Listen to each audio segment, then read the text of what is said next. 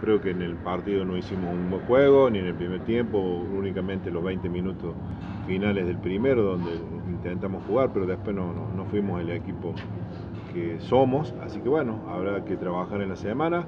Estos son finales. Eh, obvio que el objetivo nuestro es mantener categoría, así que no perder el objetivo, que es eso.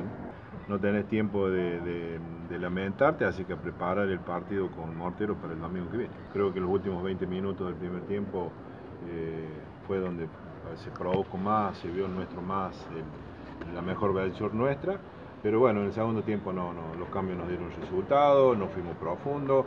Sabemos que Sarmiento es un equipo, eh, un muy buen equipo, lo, lo, marca en la tabla lo sigue demostrando. Así que bueno, yo creo que es un justo ganador, hizo lo que tenía que hacer, golpeó en el momento justo y nosotros no tuvimos esa capacidad.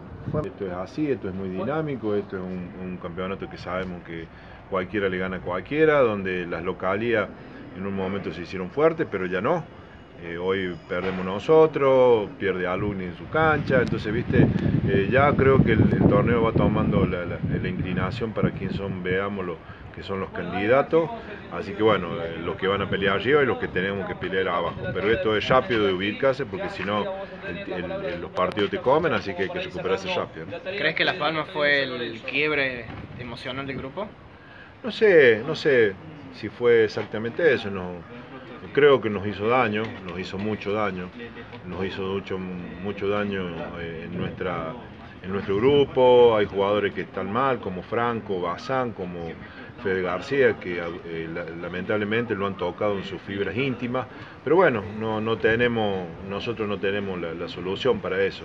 Ellos son los que deciden, ellos son los que se equivocan y lo que siempre dije, los que pagan los platos rotos somos nosotros. La institución tiene un daño económico muy importante porque hoy es un egreso, no hay ingreso absolutamente nada de dinero, donde una institución que día a día la tiene que pelear. Y bueno, este poderío, estas cuestiones, estas equivocaciones que tienen estas personas, no, nosotros no tenemos nada para hacer. ¿Y qué se tiene que mejorar? Y yo creo que es un, tema, una buena pregunta, es un tema para tratarlo en general, ¿no?